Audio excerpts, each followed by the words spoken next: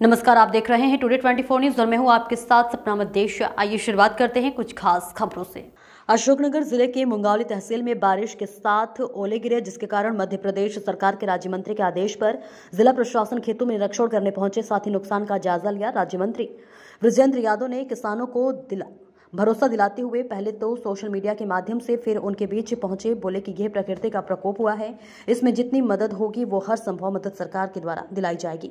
भोपाल से तुरंत राज्य मंत्री ने निरीक्षण के लिए किसानों के बीच जाकर जमीनी हाल भी जाने और जिला प्रशासन को उचित मदद करने का आदेश दिया। देखिए उमेश शर्मा की ये खास रिपोर्ट।